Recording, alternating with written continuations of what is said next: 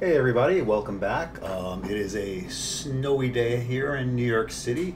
Um, schools are closed, uh, both uh, Hunter College where I'm working and the public school, so uh, we're all staying indoors while the heaviest part of the storm passes.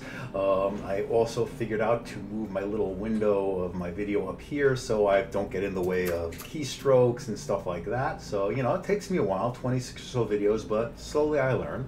And so I thought I'd do a quick video today of a feature feature that um, uh, I, I, use, well, when it comes up, it's a really, really useful feature, and that's rectangular editing in Emacs.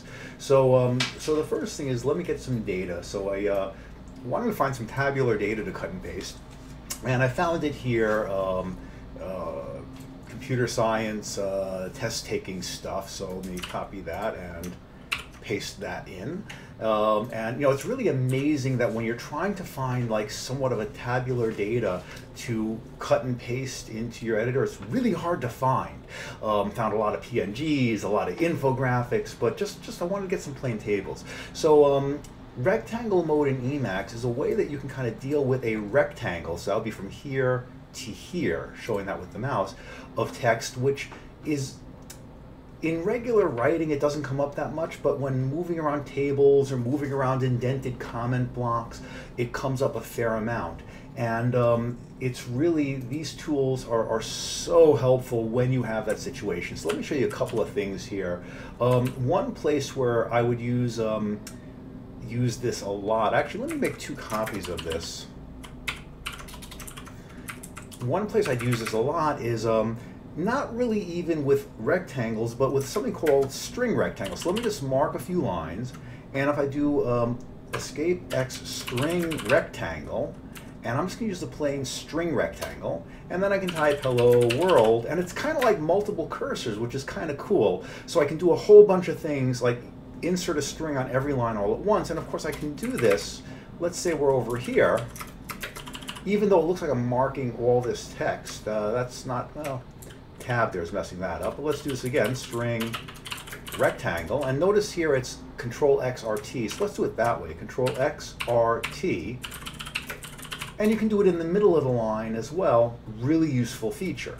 Um, the other thing you can do is you can do meta X string insert rectangle, the top one there, and then it just prompts you, I, well, I didn't mark all, let's mark all this, string insert rectangle, now I, I, blew over the lines, but you'll see that it does that for all the lines. It doesn't look as slick, but it, it's still pretty cool.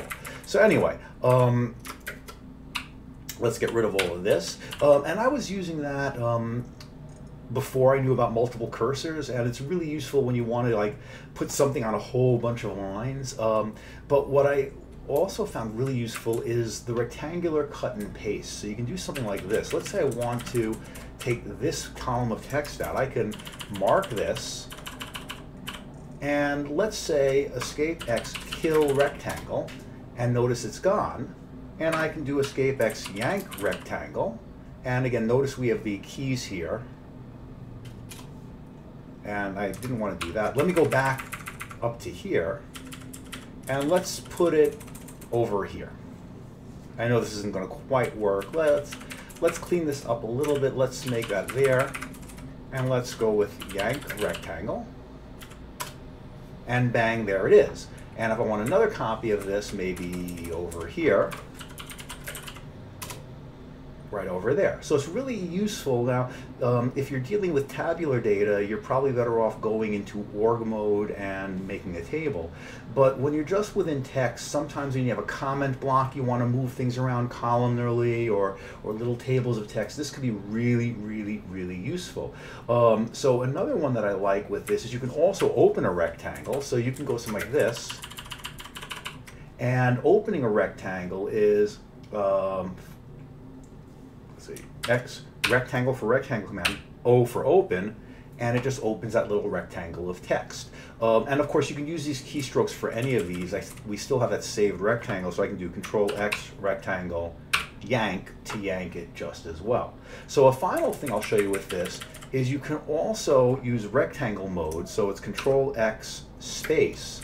And now this is with the um, newer versions of Emacs, you can actually just mark a rectangle visually this way, and then Control W for whack and Control Y for yank